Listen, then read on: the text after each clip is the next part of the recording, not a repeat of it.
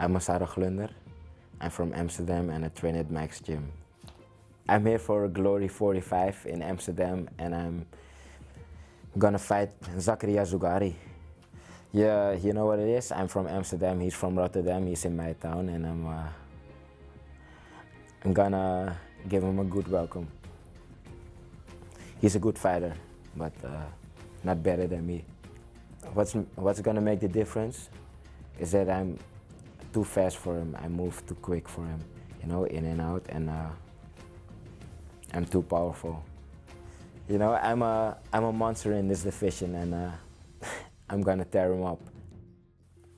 In Paris, Stoyan uh, fell out of the tournament, and they uh, searched for a replacement fighter, and they asked Mike, and uh, Mike asked me, and I said yes.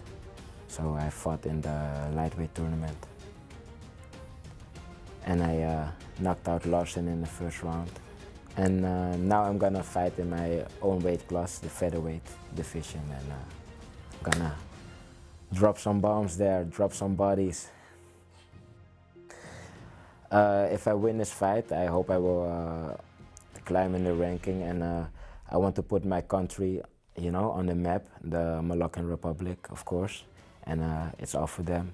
The Moluccan Republic is a piece of land in Indonesia, and they're still fighting for their rights. You know, the right of the of their piece of land, and that's the then the the island, the Moluccan Republics, and uh, that's what I'm fighting for. You know, I want to put that on the map.